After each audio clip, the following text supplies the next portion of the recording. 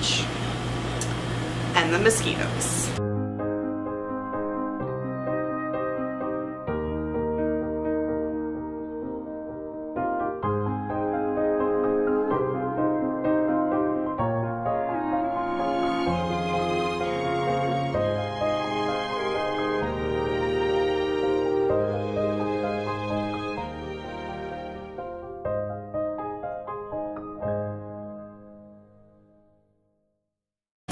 Everyone, it's Brittany from Green Bee Flowers in Strathroy, Ontario.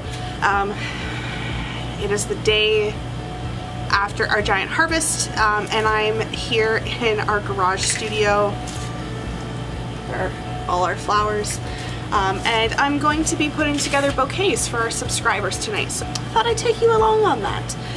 Um, I apologize for the sound quality.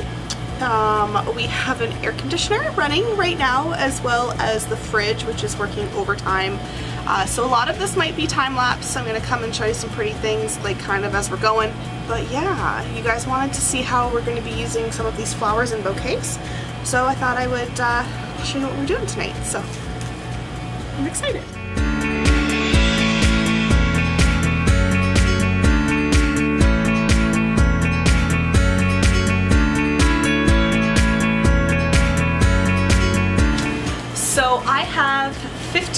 Uh, that I have to make tonight that are going to our flower subscribers for tomorrow. Uh, so I always start by getting my paper ready. Uh, it, I just, I find it is the quickest, most efficient way to get this done. Um, sometimes when you start making flowers, you get really into it, and then you find afterwards you have to go back through and like do all the prep work. So what I try and do is to get all my prep work done first. Now I think I've showed this in a video before, um, but essentially we fold our paper into triangles. Um, so I fold it like this, so it's about two-thirds of the way up. Um, I know that there are some florists that like to, you know, do the fold it like this so that like it's folded in half but kind of off skelter. I like to do it this way.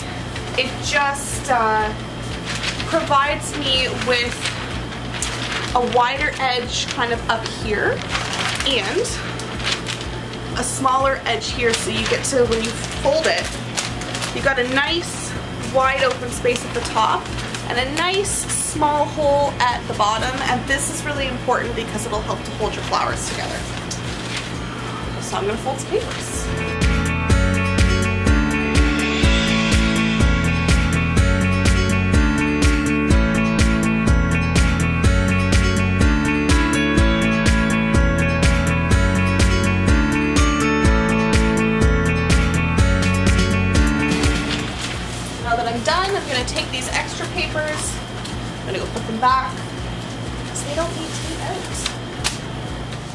So um, one of the most common questions we get from our customers is typically like, how long are our flowers going to last? So answering this question as a farmer florist can be difficult because as those of you who grow flowers know, uh, it, it varies from flower to flower.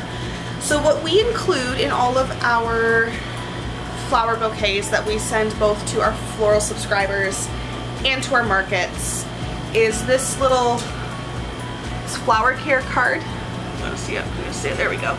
Um, and essentially it has all of the information on it um, for the flower care. So basic things like replace the water, don't put your flowers near ripening fruit or in the sunshine. Um, I absolutely never guarantee how long flowers are going to last because then that expectation is kind of set um, and if we don't live up to that expectation then my customers are going to be disappointed with their bouquets instead of just giving them instructions on how to get the longest life for their bouquet which is what this is. So we include this little card um, in every single one of our bouquets. So I'm going to get started making bouquets, show you kind of the process on how I do this as as the florist. Um, often I will have my girls that work for us do things like our market bouquets and the bouquets that are going to the corn stands. For our floral subscribers, I like to make sure that they are all that. I want to make sure that they are matching and beautiful and you know all those things that you expect when the florist is doing your bouquet. So I'll show you kind of uh, my thought process behind that. Um, I've shown you guys how we do our market bouquets in the past, in the past, uh, in the sense that we just kind of throw everything together. This is a little different, um, but luckily for me, I've got lots of fresh blooms to work with here. So I think we're gonna have some fun. So when I work, oh wait. So when I work, uh, I like to start with usually a stem for the center. This amaranth is what I'm going to use for the center of this first bouquet. I kind of have a recipe in my brain that I'm going to be working with, uh, but I will kind of like figure it out as I go. The monetary value of these bouquets is around the $40 mark, uh, so you can figure right off the bat they're going to be able to double the size of what we send to our uh, farmer's market uh, because those are $20 bouquets and these ones are for our subscribers, um, our CSAs, which is Community Supported Agriculture. Now, when I build my bouquets, uh, I, I, tend to like to put some of my greenery right in the center. Uh, it doesn't always stay in the center, but I do I really like the contrast of this here. I think that's sharp. Just one's a little floppy.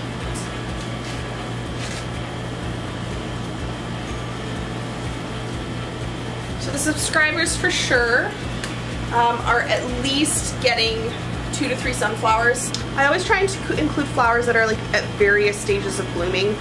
I don't need to see the flowers bloom. Um, my customers do. So you can see like this one's a little further ahead and then I'm gonna put one in that's already bloomed. Um, it'll be done earlier than the rest but at least they'll be happy because there's like a bright flower in there right away. So like this little guy here, right? It is already, it's already bloomed. It's already ready to go. Um, so we'll we'll add that in here. I like to as well work in my groups of threes um, while I am doing the bouquets. So you can see here, like I've got my three sunflowers surrounding my greenery, and then I'll add in stuff um, like zinnias will be next. As I was, as I was saying, uh, because I have the purple amaranth in here, the next thing I'm going to put in, yes, we have zinnia. I don't know why, but it wants to focus in on my face, and we don't want to see my face. We want to see the flowers. Look, the flowers. Um, anyways, as I was saying before, I wanted to add in this red wine here because it kind of pairs nicely with that amaranth. And the next thing I'm going to add in as well is this beautiful salmon zinnia. There it goes.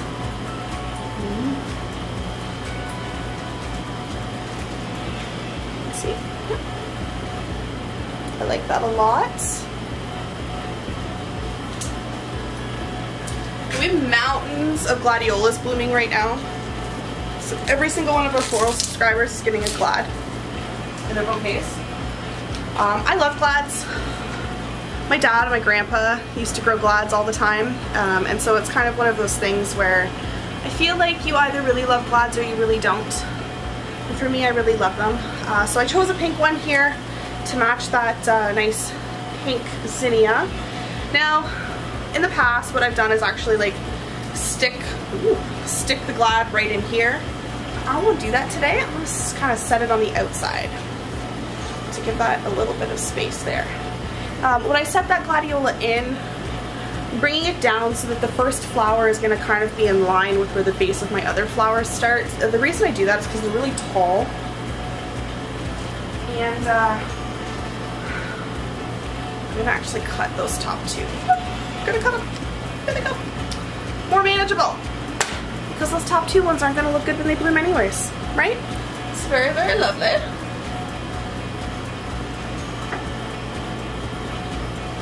Next thing I'm going to do is add in some Cosmos.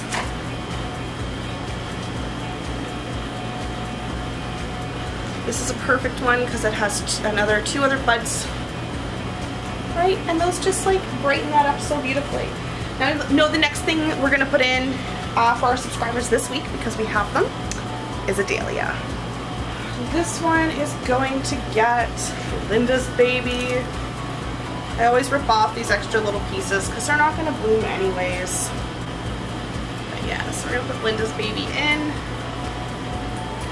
Now because I've got my coral here, I'm going to add her to the opposite side. The best parts of this bouquet. Right?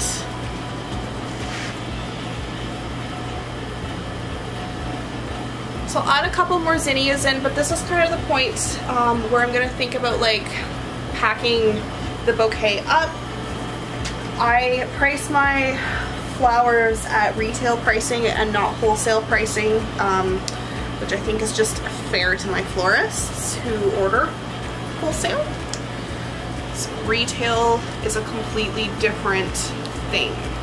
It's so gorgeous, actually. Linda's baby's gotta go in.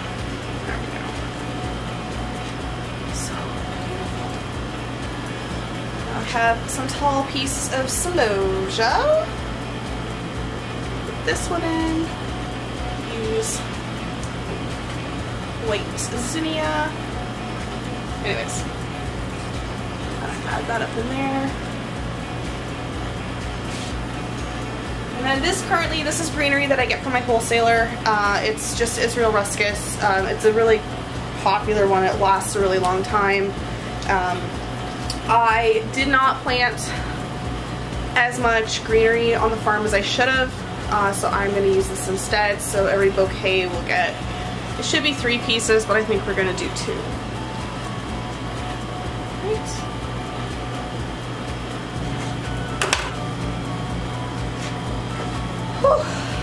Yeah, fresh snip. Always on an angle elastic band, up, around, up some other stems. There we go.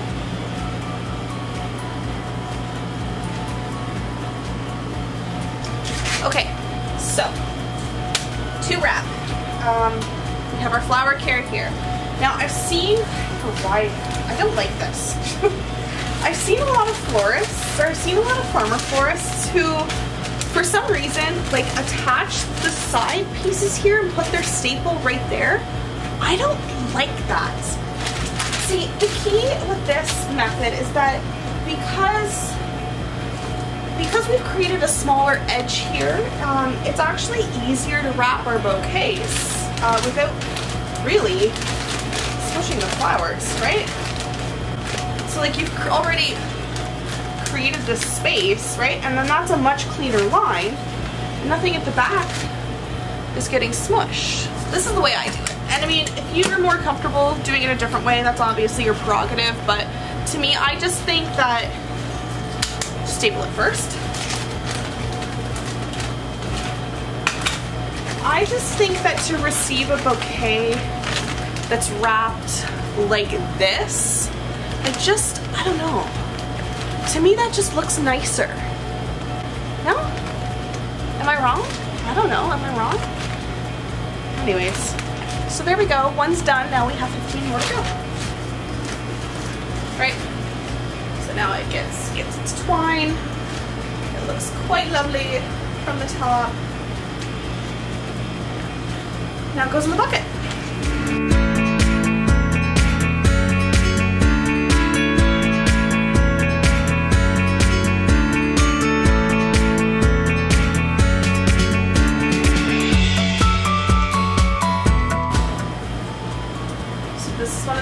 Dahlias that we harvested. Oh, it's just so, so pretty.